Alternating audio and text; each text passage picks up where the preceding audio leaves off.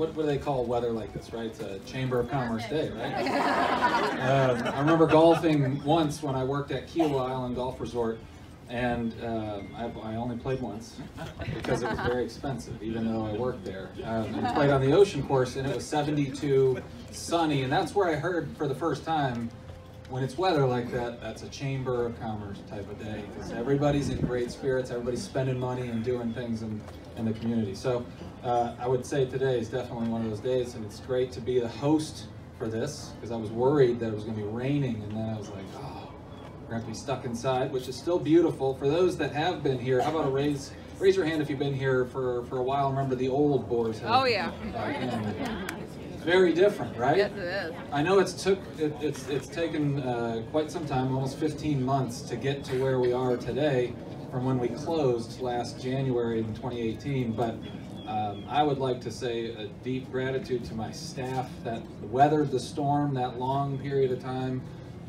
Our UVA and our UVA Foundation, our owners that have really helped us push through to get to where we are today because we're really proud of uh, the spaces, not just the meeting spaces and the patio that you're sitting on today, but also the restaurant and our guest rooms in the main inn.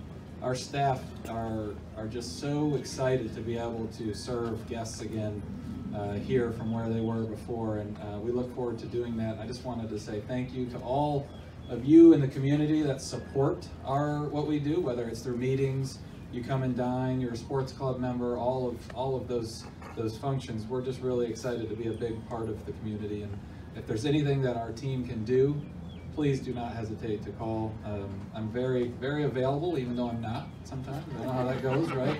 Um, but I promise I'll get back to you soon.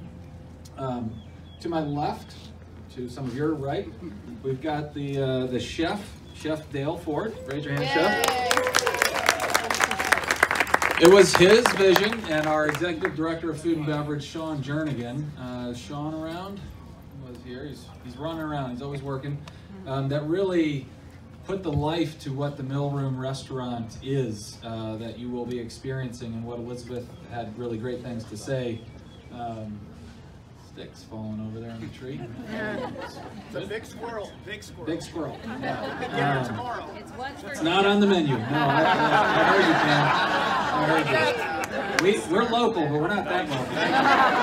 Uh, but Chef Dale has done some really amazing things, and one of the things that um, we'd love to share with you, if you haven't already uh, seen it or been a, been a part of it, is um, one really cool, unique thing that we have is right behind the spa here is the Trout House. Um, it was built back in the 60s when the, the property was um, was con conceived by John Rogan, um, and they used to catch trout. They used to stock it and then catch it and then cook it, right? And I think the menu at the time says it was like a dollar or something. It was ridiculously cheap, right? You'll never see that ever. Um, but Chef had a vision for that space to turn it into a hydroponic uh, garden with some uh, of our friends at Babylon Micro Farms. And it's spectacular.